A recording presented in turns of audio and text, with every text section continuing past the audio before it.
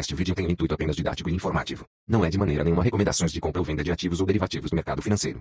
O uso das estratégias mostradas nesse vídeo é de total responsabilidade do espectador e jamais poderá responsabilizar o representante desse canal por eventuais perdas ou prejuízos. Fala traders, tudo beleza? Tudo tranquilinho? Beleza, né? Que bom.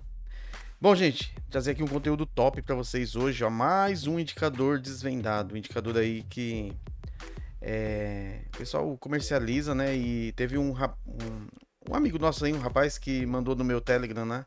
Falando que. Ele me mostrou dois indicadores, na verdade, né? Pra tentar desvendar. O outro são os histogramas, né? Que ele fica vermelho lá, mas eu, eh, sinceramente, eu não achei muito, muito interessante. Ele disse que tem até uma boa assertividade, mas sei lá, eu acho meio confuso. Aí eu falei assim: ah, deixa ele aqui, deixa ele aqui no forninho, qualquer coisa eu, eu tento desvendar ele mais pra frente, mas eu achei pouco efetivo. Quando dá o sinal, no, no, caso do dólar, é dois pontinhos. Então, às vezes nem dá sinal no dia. Então, né, esse daqui, não, esse aqui eu achei bem interessante. Quando ele dá o sinalzinho aqui, ó, a gente vai conseguir pegar 10, 12 pontos, ó, 15 pontos. Então, é bem interessante, né? Eu chamei ele de arqueiro rio. Arqueiro rio, né, de riacho, né, essas coisas assim, porque o, o nome dele é está americanizado. Então, quem conhece vai entender, né?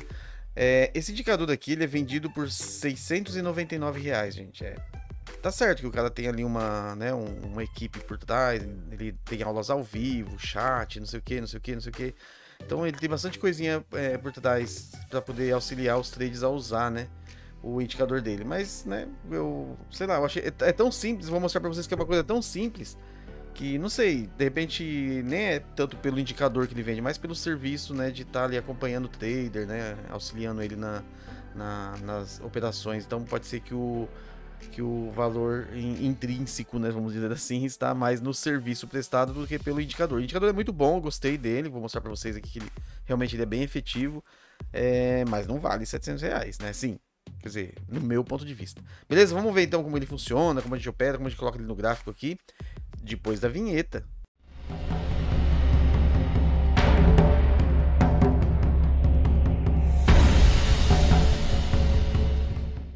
Beleza, gente, voltando aqui. Bom, é, antes de começar o, o, vídeo aqui propriamente dito, vou pedir para vocês, é claro, né? Vou pedir para vocês. Se você não for inscrito no canal ainda, se inscreve aí, dá essa forcinha pro arqueiro Ativa o sininho para receber as notificações e deixa aquele like cheiroso, né? O like perfumado, o like que, eu costumo dizer que passou na boticária e tomou um banho de Malbec, né? Ou do perfume que você acha mais cheiroso né? por aí.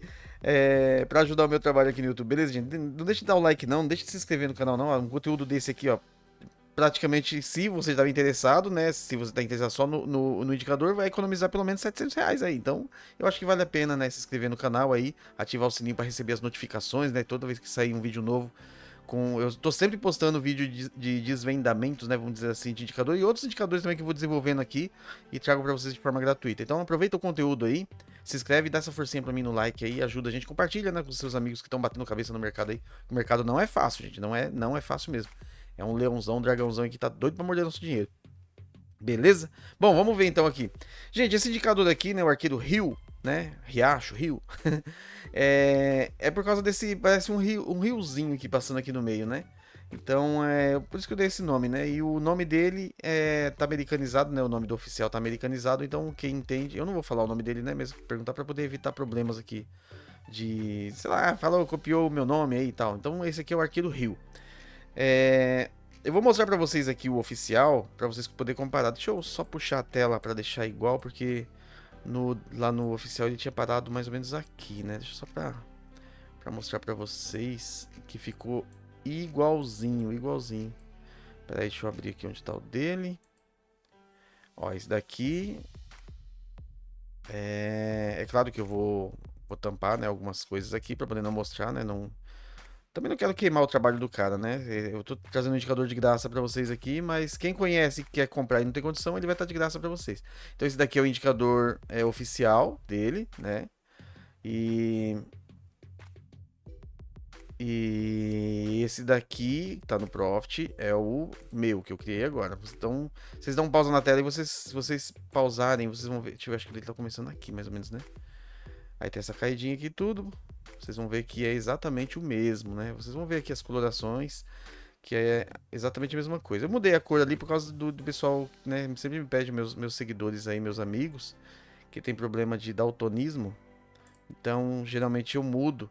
É, eu deixo uma, essa opção aqui. Me disseram né, que o lime e o fúcsia é melhor para quem, tem, quem é daltônico. Né? Então, mas se você quiser deixar na mesma cor do oficial, é só clicar com o botão direito aqui, vai em propriedades dele. Aí aqui onde está escrito ó, usar cores DTN, né, que é de daltônico, é, você deixa em não. Aperta OK ele vai ficar com a cor igual a do oficial. Beleza?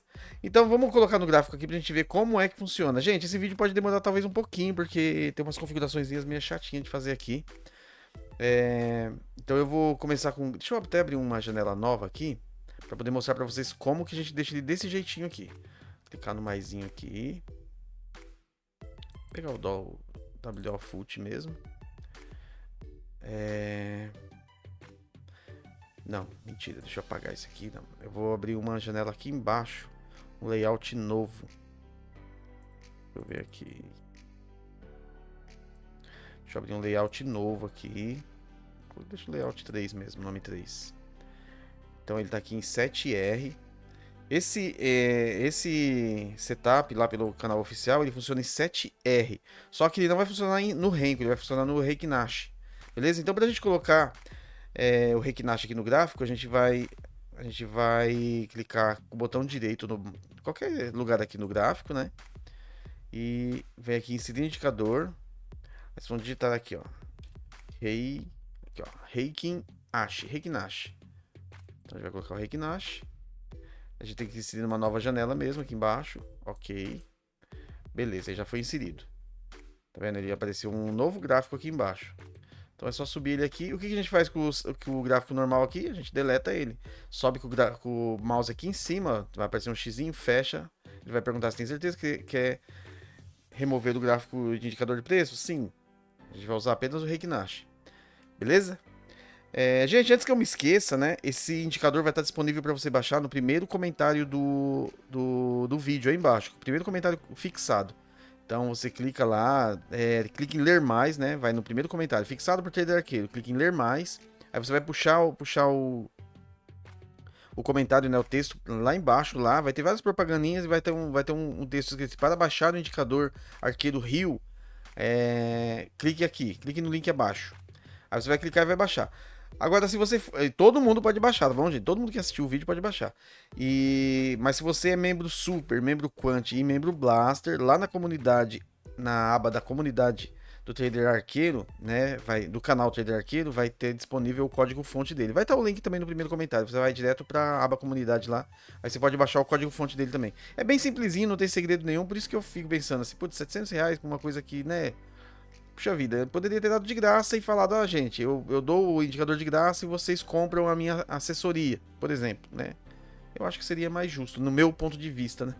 Mas cada um, cada um.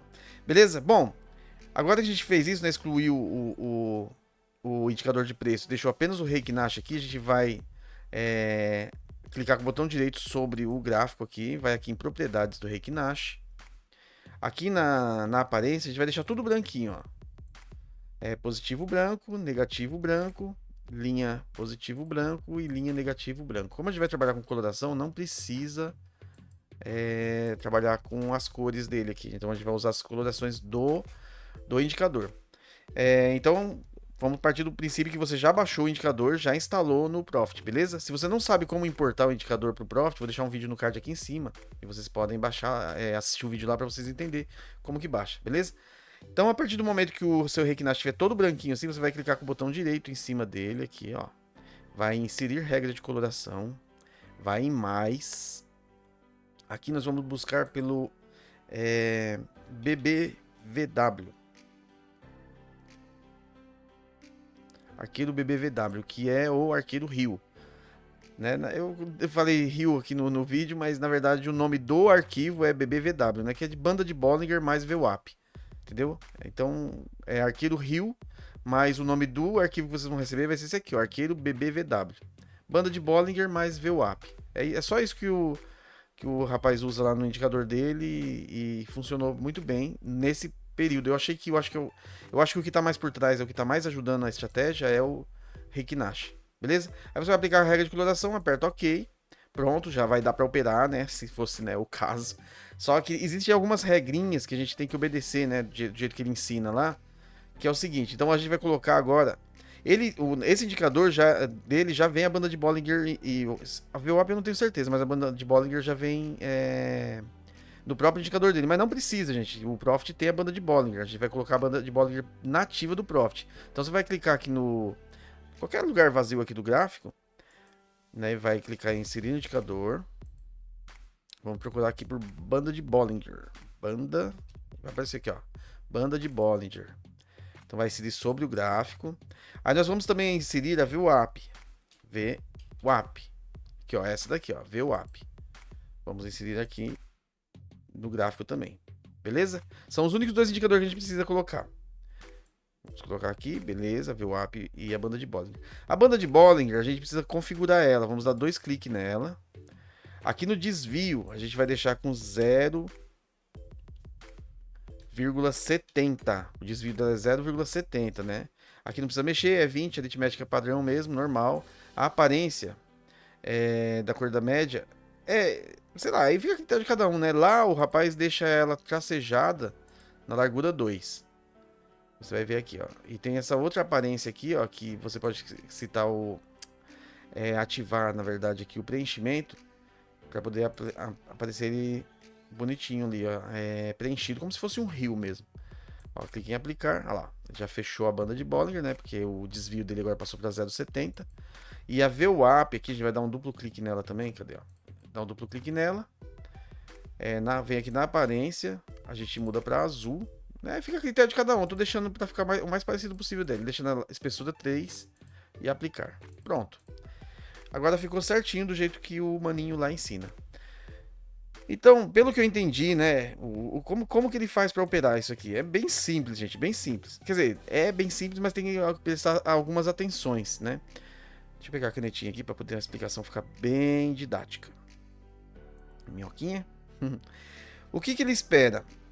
Quando abre o mercado assim, é, pelo que eu vi, ele não faz nada. Abriu o mercado, o que, que ele espera? Ele espera um, um pullback, né? Um pullback é esse retorno que vem até aqui dentro do canal, né? Dentro do rio aqui, né? Da, da, das bandas de Bollinger e ele volta e fecha. No caso de compra, ele vai fechar uma, um, um boxinho desse. Um box, né? Não é box. Não sei se é box em Reiknash. Uma barra dessa aqui é verde. Então ele vai colocar a ordem de compra dele aqui, vai colocar o stop na linha do, do nessa médiazinha do, do, do, da, do canalzinho da banda de Bollinger aqui.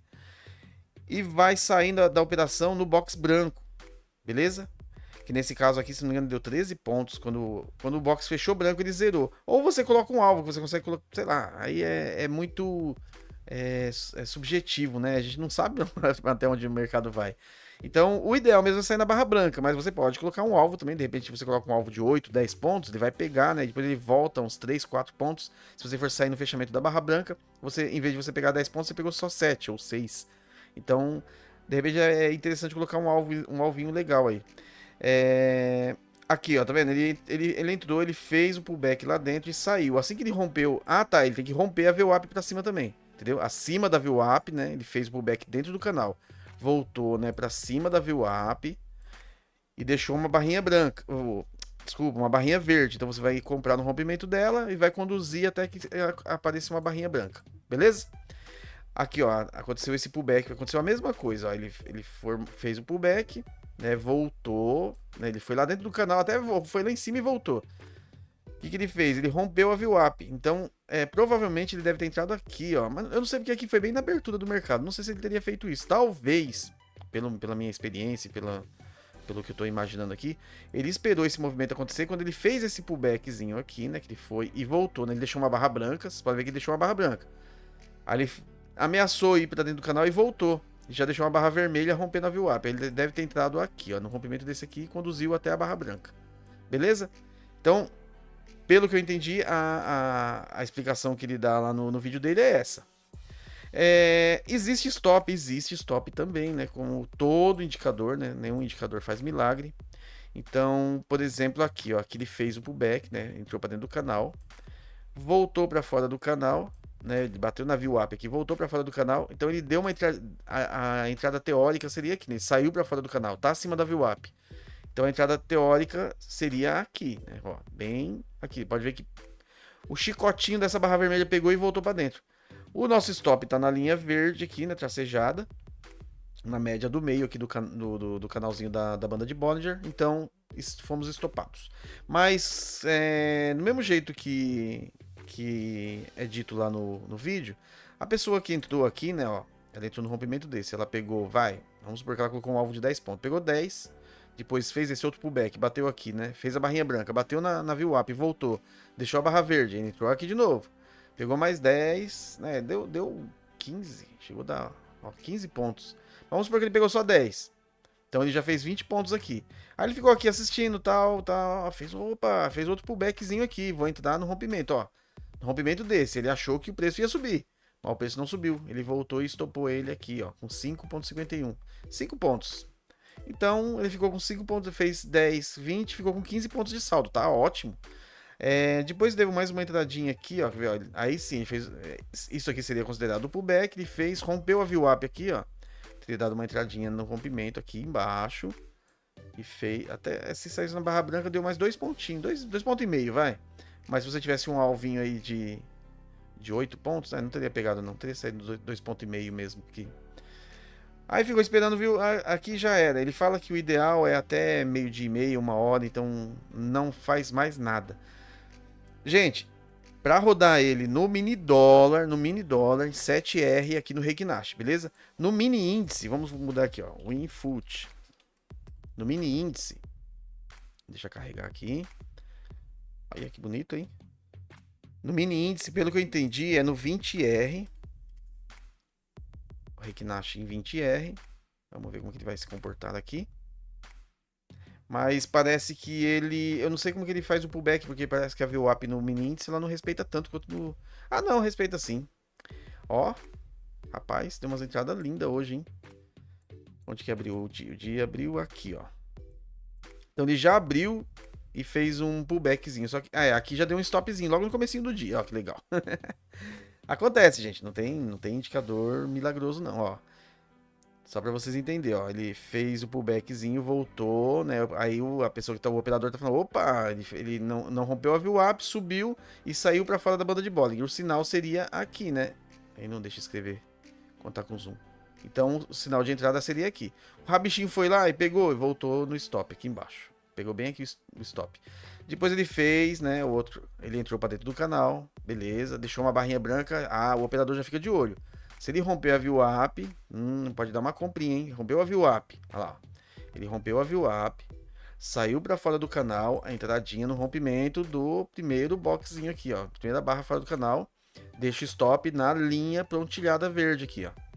Beleza. Aí foi, hein? Aí foi lindo. Até a barra branca aqui. Quantos pontinhos deu? Deixa eu ver aqui quantos pontinhos deu aqui.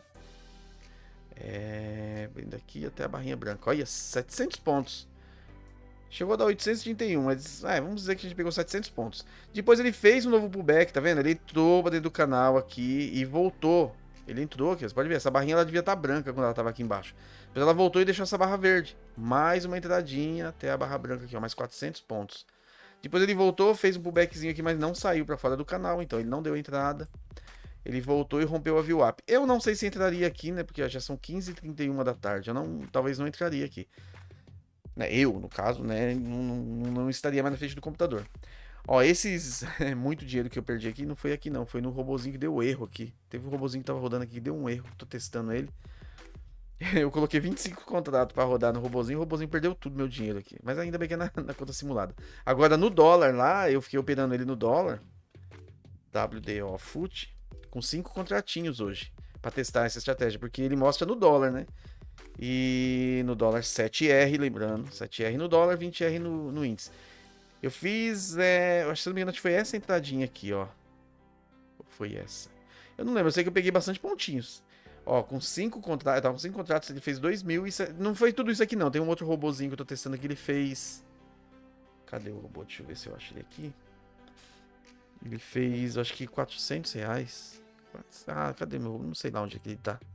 É tanta tela aqui que. 380 reais o robozinho fez. Então eu fiz aqui mil e pouquinho com cinco contratos. Mas peguei bastante ponto. É... Eu acho que eu peguei uns 30, uns 20, uns 20 pontos. Mas quem entrou aqui, quem tava operando essa estratégia hoje, ó, tá vendo? Ele saiu aqui. Ele deve ter dado, deve ter dado alguns, alguns lozinho aqui, ó, no comecinho do dia. Porque, ó, tá vendo? Ele bate e volta, bate e volta. Sempre foi dando a impressão que ia... Que ia... Que ele iria seguir caminho para cima. Ele fez pullback, ó, esse daqui, por exemplo. Ele entrou aqui dentro, bateu na VWAP, subiu, deixou essa barra verde fora da banda de Bollinger, então teria entrado aqui, ó. Mas apesar que isso aqui deu Ó, 7 pontos. Então, se você quiser ser um pouquinho mais conservador, faz uma ordem oco aí de 5 pontinhos, né? 5 pontinhos de gain. É... É, 5 pontinhos de gain teria dado aqui, ó. O, stop loss teria ficado com 4 pontos, 4 pontos e meio, não pegou, stop loss pegou e teria dado teria dado certo. Aí depois ele voltou aqui, tá vendo? Ele, fez, ele voltou, desceu, fez o pullback. Ó, o pullback foi aqui, viu, gente? Não é aqui no rompimento da, da, da VWAP, não. Ó, pra deixar claro pra vocês. O rompimento, o, ele desceu, rompeu a VWAP, ele fez as barras brancas, deixou o pullback em cima da VWAP, tá vendo? Ele bateu, respeitou a VWAP, saiu pra fora do canal, o sinalzinho foi aqui, ó. A compra, a venda, desculpa, seria no rompimento dessa primeira barra vermelha stop loss aqui na barrinha verde, tá bom? Você pode ir conduzindo também o stop loss conforme a barrinha verde vai descendo, você pode ir fazendo como se fosse um trailing stop, né? Conduzindo até que saia na barra verde também, se quiser. Olha, você, meu, se tivesse feito isso, teria, teria entrado aqui e saído no stop loss aqui, ó, se tivesse conduzido pela barra verde. É uma ideia, pensei nisso agora, ó. É uma ideia, hein? Sei lá, pode ser, pode ser que seja. Olha, quantos pontos teria dado isso? É, só, só 38 pontos só no dólar. Legal, hein? Bom, gente, então é isso. Deu para entender legalzinho? Eu acho que deu, né? Qualquer dúvida, deixa no comentário aí, a gente vai responder na medida do possível. É... Pelo que eu entendi, ele funciona em todos os profits, né? Todos os profits. Eu acho, não sei, o Reikinashi, eu acho que só tem no Profit Pro. Bom, mas se você não tem Profit Pro, a nova Futura tá dando Profit Pro, viu, gente? De graça para vocês. Tem o um link no meu no meu na descrição e também no primeiro comentário. Então, não é desculpa para vocês ficar usando esses profit básicos, Clear Trader, é, XP Trader aí, que é, que é bem basicão. É, se ele não tem o Reikinash, que eu acho que não tem, acho que é só no Profit Pro mesmo, abre uma continha na Nova Futura e, e é, opera por eles lá que, né, pela, através da, da, assessoria da QTZ, você vai ganhar o Profit Pro é, com, sem mensalidade, beleza? Só clicar no linkzinho que tá aí embaixo aí na, no comentário e também na primeira descrição e fazer, abrir sua continha lá pelo meu link, que você terá o Profit Pro totalmente sem mensalidade, beleza? É, eu acho que é isso, né? Acho que falei tudo. Bom, se ficar alguma dúvida, deixa no comentário. Então é isso. Se você ficou no vídeo até aqui e não for inscrito no canal ainda, se inscreve aí, dá essa forcinha pro Trader Arqueiro, ativa o sininho para receber as notificações e deixa aquele like perfumado, né? O like cheiroso, para ajudar o meu trabalho aqui no YouTube.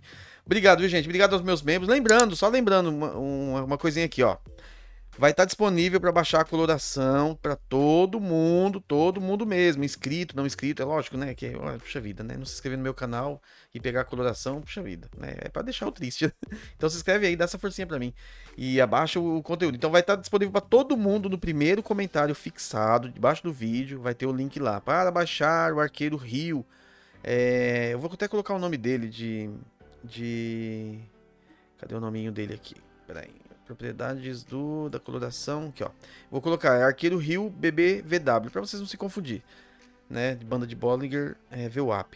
Então, para baixar o Arqueiro Rio BBVW, clique no link abaixo. Aí vocês vão lá, clique e baixa. Agora, se você for membro Super, membro Quant e membro Blaster, vai ter acesso ao código fonte da estratégia, beleza? Eu não sei se dá para automatizar essa estratégia por causa que isso aqui é bem, é bem humano, né? É bem subjetivo. A gente vai enxergar os, os, os pullback, né? A gente até poderia colocar para entrar depois de uma barra branca aqui automaticamente, mas ele ia dar muito stop, não seria interessante. Beleza? Então o ideal é a gente operar na mão mesmo, na unha.